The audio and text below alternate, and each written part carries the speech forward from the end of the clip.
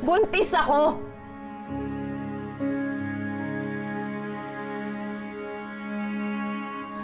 And Louis is the father of my child. Guess I'm back in your life, whether you like it or not.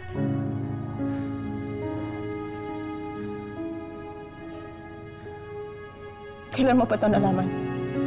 Humahanap lang ako ng tamang panahon. Kailan mo pa ito nalaman? Matagal na niyang alam. Will you just shut up? Dahil hindi ikaw kausap ko dito. Bitawan mo ako! Pagkatapos ng lahat? Pagkatapos na nagtiwala ulit ako sa'yo, pagkatapos na binigay ko sa'yo ito ulit ang puso ko, lulukuhin mo ulit ako? Ha? Dahil bakit? Dahil alam mong mahal kita? Dahil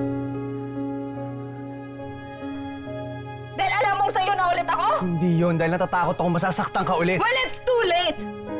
Dahil nasaktan na rin ako. Dahil please naman. Ayusin mo buhay mo. Ayusin mo sarili mo. Kailangan ka ni Risa, kailangan ka ng Saglit anak. lang, magiging mabuting ama ako kay Iya. At magiging mabuting ama din ako sa anak namin ni Risa. Mama, kailangan ko rin si Hindi mo siya kailangan for 17 years. Kaya hindi natin siya kailangan ngayon. Del, Umalis ka nga dyan. Del! Del, ano ba? Kausapin mo ako. Kailangan ko kayo.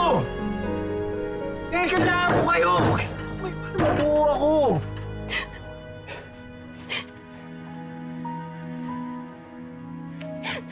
Kailangan ka rin namin, Louie.